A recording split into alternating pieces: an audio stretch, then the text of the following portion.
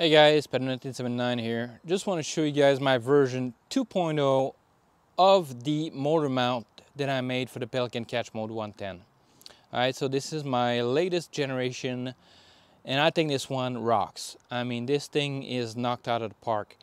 So I'll give you guys the dimension and just show you real quick how it is mounted. And I think this is my masterpiece, guys, to be honest. I'll try to make this video quick just to show you guys if you want to replicate it but I think this is the best option to mount the motor on the Pelican Catch Mode 110. So let me show you guys uh, what I did, all right?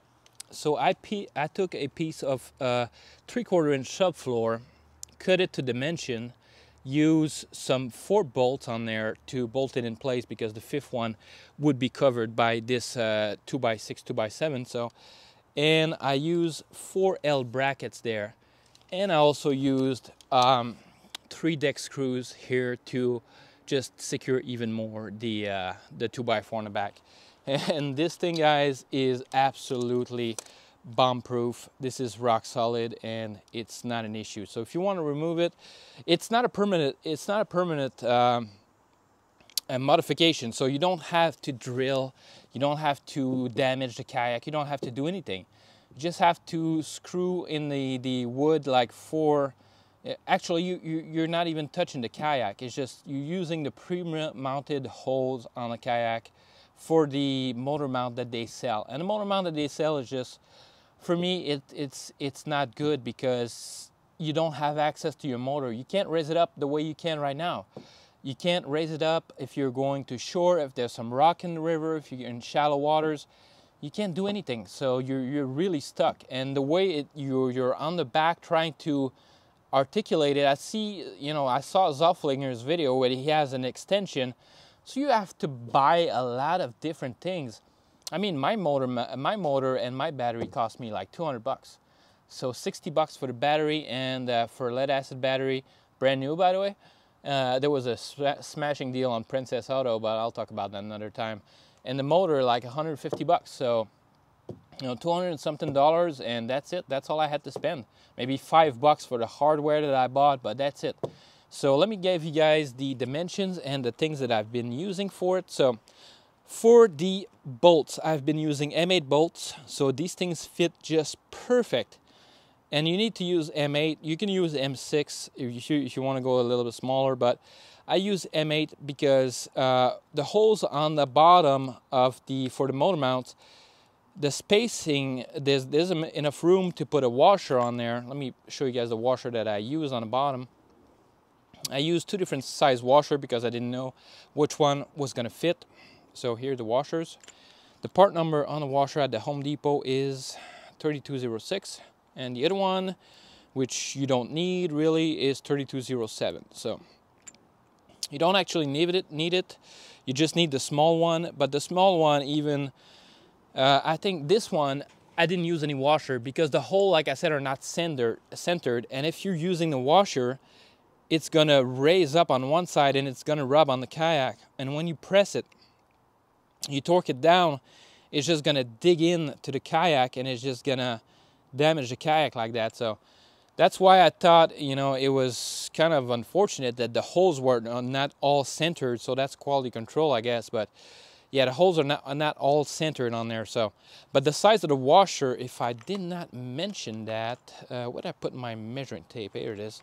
So the size of the washer, if I didn't mention it, is three quarters of an inch. So three quarters of, one, of an inch for the bottom washers, if I did not mention it. So right there, three quarters of an inch.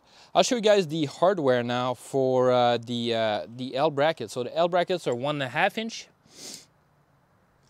and they get the two holes in it. So uh, yeah, I use four of them so you guys can see this is baller. So I'll give you guys a dimension for the uh, three quarter inch subfloor that I use. So don't mind the cat, doesn't it's not part of the dimension. So so yeah, guys, eight inches over here on uh, lengthwise, eight inches. It's perfect. You, you you could go a little bit more, but now you're starting to get at an angle, and it's starting to go that way. So eight inches for me was perfect. And lengthwise, uh, you're gonna have to maybe sand a little bit or just cut it a tad bit shorter, but I wanna leave as much wood as I can, so This is 11 and 3 quarters, guys. 11 inch and 3 quarters uh, for that piece of wood. So you could use also a 2 by 8 or something that would fit there perfect also. So now you would need the, uh, the longer, uh, the 50 size, uh, 50 millimeter I think size uh, bolts on there because if you're going uh, to raise it up, but I put the three quarter uh, inch plywood because it would just fit and it would just raise it up enough to put my uh, two by six here or two by seven and would just be like perfect for that. So the length of the two by seven or you could go two by eight is about 21 and a quarter. So 21 and a quarter inch. So that's just the perfect length to arrive to put the two by four just smash with just the side of the hole there. That was just perfect guys. So the 2x4 now is the 2x4. You could go a, a tad bit smaller, but this is 43 and a half. 43 and a half inches. So hopefully that's pretty much all the dimensions that you need. So the yeah, the, this piece of 2x6 is actually like something that's been uh, home milled or done by a milling machine in wood. So uh, this is like, uh, you know, raw wood or something. So uh, this is seven inches. But you can also, you know, if I'm looking on the bolts here, you can also go eight inches like easy. You could go eight. So two by eight would just fit perfect easy, guys. So yeah, let me show you guys how it is in the kayak when I'm sitting down and uh, when I'm accessing the motor, right? Let me show you guys over here real quick. Let me put you guys there. Yeah. Right about here. All right. So now when I'm accessing the motor, when I'm sitting down, I have easy access to the motor and I can lower it and raise it up. That easy, guys. No fuss, no muss. Uh, just uh, one thing that uh, you might lose is the right side paddle holder. So you're gonna have to put your paddle on the left side, but your rod holder is still good. So you still got access to both your rod holders. And little bonus guys, you could also fit a milk crate back here. So you could still fit your milk crate back there. So how cool is that? Uh, pretty cool, right guys? So you could also use the 2x4 to put some uh, rod holders on the 2x4 and you could use it like that. But you're losing a little bit of space in the rear, but not much, not much guys. But for the access, guys, the access, let me see if you guys can see good on the back. Yeah, you can see good on the back, but I'll scoot you back a little bit. So, like so. But yeah, guys, look, on the rear here, if you have the, the motor mount, the Pelican sells, which is expensive, by the way, you can't reach Look, I'm 5'11 and I can't even reach on the back. Of course, to just manipulate the motor, but look at my arm, how it is. So you need to have the booster on when you're using the throttle, the throttle motor, and you need an, an extension for it. And you need to be on the side like that to be able to go on the water. So, but still, you don't have access. Right here, I have access to my uh, to my motor to raise it up because I'm in a river system where there's a lot of rocks and shallow waters.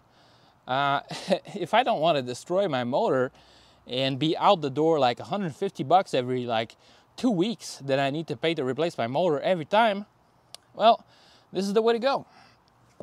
Yeah, guys. So I hope you guys enjoyed this uh, second generation motor mount from my uh, Pelican Catch Mode 110. So if you did, give it a thumbs up. That was that would be appreciated greatly. And if you decide to make this modification, just send me some pictures, all right? I want I want to do a video showing guys that you did that that exact modification, and I want to show you uh, show everybody that you know this is a good design. So the only thing that remains is to test it on the water. Since I've moved the center of gravity a little bit, eight inch backwards, I should be uh, I should have a little bit more easier time turning on both sides, and it should be like money. But you know, guys, having a motor and not paddling is just, I mean, it's just, it's just perfect, guys. Not having to paddle is just, it's just wonderful. And look, $200. And how much is it for a pedal drive system on a kayak with a uh, with a, a, propeller on the back? I mean, a propeller style pedal uh, pedal drive. it costs you double the price. So the kayak itself, if you let's say go with an Old Town PDL, it's like 1600 bucks. And if you go uh, with, with just the regular Old Town 106 or something, and you go with the PDL version, uh, the, the regular version is gonna be 1600 bucks. And the PDL version is gonna be 3000 in Canada, so 3000 bucks. So $1,500 for a set of pedal, yeah, a pedal ride that's mechanical, and I get a motor for 150 bucks with a battery for like 60 bucks. So what the hell? I mean, uh, it just it just baffles me. But you know what? There is some places like Princess Auto that import pedal drive kayak from China for a thousand dollars, a thousand ninety nine bucks or something. It's a thousand dollars for a pedal drive kayak. I mean, this is where it shows that where are they making their money? I think they're making money in the drive because, damn, I mean, if they can bring it from China and have it for like a thousand bucks for the entire kayak, the kayak, the pedal drive, everything, for a thousand bucks, maybe that that's a that's a uh, subject for another video. But yeah, guys, I think pedal drive are so expensive, and this is why like the kayak cost me 600 bucks, uh, 699. So with taxes, like a thousand bucks, I have a motor driven kayak on the water to go fishing. So money. So let me know in the comments, guys, what you think. If you have anything else that you want to uh, to ask me that I might have missed, that you want uh, more details on the dimension, how I did it, and stuff like that, uh, just I'm just gonna give you guys a quick tip. All right. If you're drilling on the bottom of the uh, to drill the holes for to pull to place the bolts on the bottom uh, here just start with one hole, right? Just align it up, drill one hole, then screw a bolt in it. Drill a second hole on the opposite sides. You can go cross diagonal uh, as long as that on the opposite side. Just drill a hole on the opposite sides from the bottom while you're having your uh, your screw and your nuts and bolts tight on the first hole. So that way it's gonna be not moving. Then when you drill the second one, and you place it in there, the other two are gonna be like easy. You won't have to do anything. You won't have to hold the board in place. So start by drilling one hole, place your nut and bolt and washers and just tighten it up. Not too much, just, just enough that it's snug and it stays in there. Drill the second one, put a second nuts and bolts and then the other two you just drill and then afterwards you drop your, your bolts on each one. So easy peasy to do guys. There's nothing to it, so anybody can do it. If you, you're not me mechanically inclined or if you're not DIY, if you're not proficient with tools, just ask somebody to do it for you. It takes literally like less than an hour to make. It's, it's super simple. It's just two cuts. So you have to do one cut here, one cut here, just cut that one to length and cut that one to length and you're in business. After that is just, you know, using a drill and or an impact and just screwing things uh, together. So putting things together. So I think this is the best system so far and I can't wait to go on the water. The first gen that I did was okay. Uh, the tolerances were a little sloppy for the uh, for the um, the rear because I had so many angles to cut and stuff, but with this one, it's just super simple, straight angles that you just cut like, you know, all you have to do is measure, cut straight. You don't have to do any chamfer, any cornerings, any anything to to modify on the rear tank well. So I think this is that that literally took me no time at all to make, guys, and it's just it's just money. All right, let me know in the comments what you think. Give it a thumbs up if you uh, like the video, and I'll catch you guys on the next one.